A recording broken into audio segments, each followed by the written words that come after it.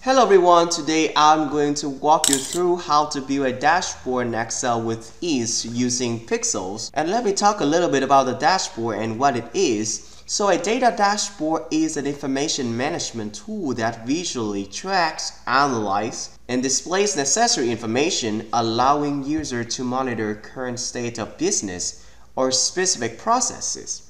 And to build this dashboard in Excel, we are going to need the help of PyXLL. And PyXLL is an Excel add-in that helps us to implement Python code in Excel. This would help us to make some processes easier, such as creating some complex sorting methods that VLOOKUP function in Excel cannot achieve.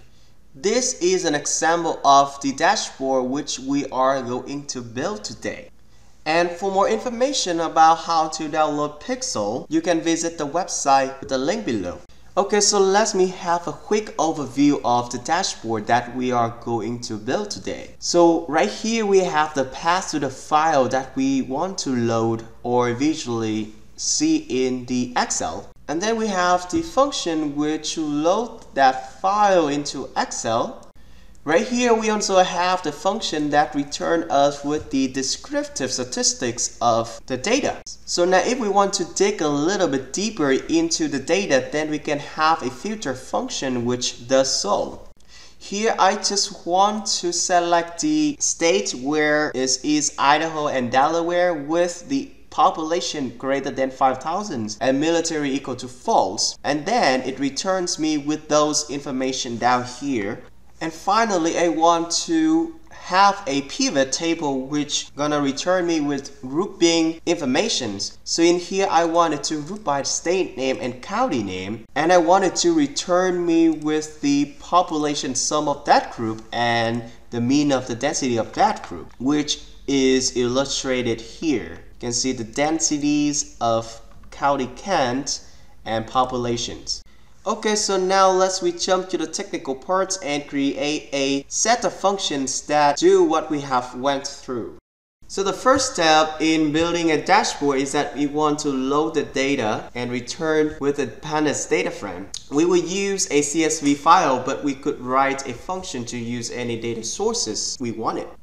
So I have the function load.csv file here which take in the string argument which called path and this Python file is not yet interacted with Excel. However, if I use the PyXLL decorator then this can be interact with Excel. And then that is called Excel func, the strings which is taking the string and return in Excel with an object. In this case is a data frame. After that, we can go to the Excel and see the function works, which we're gonna call that function we just written called load.csv data. And I have the path to the file here. I'm just going to pass that into this function. Next, I want to build a function which returns us with the descriptive statistics of the data. And here I have the function df describe, which in the Excel func decorator that takes in the data frame in Excel and return us with the data frame where index equals true. So now I can call that function in Excel, which is called df describe and I'm going to pass this data frame which I have loaded in function load.csv data and it will return me with the descriptive statistics of the data. The next step is we want to build a function that can filter the data. So the Excel func in this function filtered is taking in the data frame as an argument and the 2D array filter values and return us with the object in Excel. So for the default, we want to declare two variable which is mask equal to none and mask operation equal to n. Then we are going to go through the loop which extracts the filter values from with a boolean operation columns row operation and values so moving to the iteration if the boolean operation is not none. Then we are going to declare the mask operation equal to the boolean operation and then uppercase it. And then if the column is with an empty values then we are going to skip it and continue the iteration to the next row. Next we are going to create a if and elif condition to sort out the data frame based on the row operations, which is here.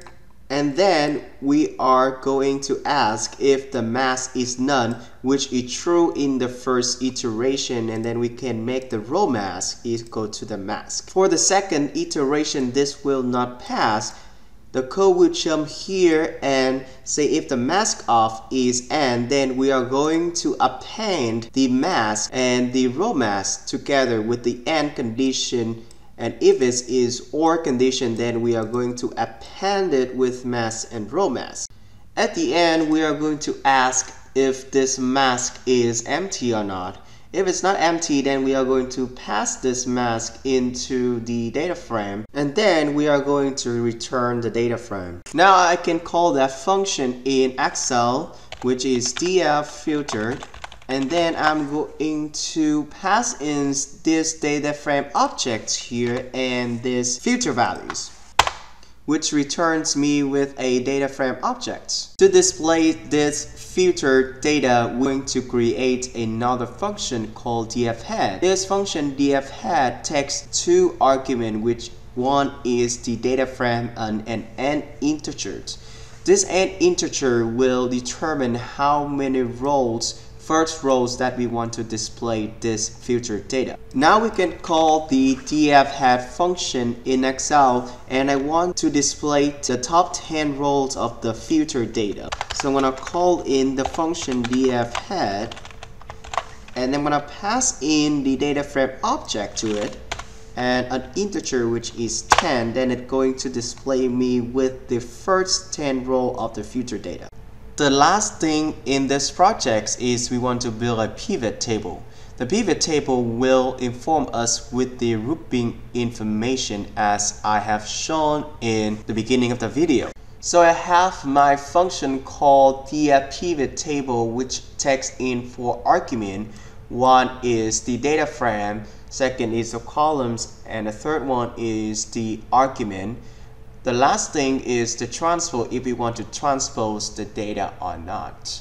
In this function, I use Excel argument and Excel return instead of Excel func, but they operate very similarly. And Excel, the first argument is called df, which takes in the data frames. The second is called columns, which you see here, and it takes in the strings. Furthermore, this columns means that group by, which is by state or by county the X functs which take in the argument which is the dictionary of strings and the last one is the transfer which takes in the boolean. Excel return will return us with a data frame where index equal true and multiplier equal false. Next, we just in the function we want to remove any empty columns which we use the function filter and with all the information we need we just pass that into pandas pivot table function. After that, if we want to transpose, if the transpose equal true, then we can transpose the data frame and then we return that data frames to Excel. So now we can call that df pivot table in Excel. I'm gonna call that and the first thing that we need in the argument is we want to choose a data frame object which we have the data frame object here in the filter data and we want to pass in what group that you want to do which is a column argument so you're gonna parse this Next is we want where it going to aggregate by. The, the third argument is we want this data to be aggregate by what condition and in this case we want it to aggregate by population with the sum and density by the mean. The last thing is the boolean argument which is true or false that we want to pass in then just gonna pass this. As you can see it returns us with the information that we wanted by the county name and density and population. To be quick check with the transpose, we can change it into fall to see how the data get transposed. And you can see it transpose the data back. That's the end for the video of today. Thank you very much.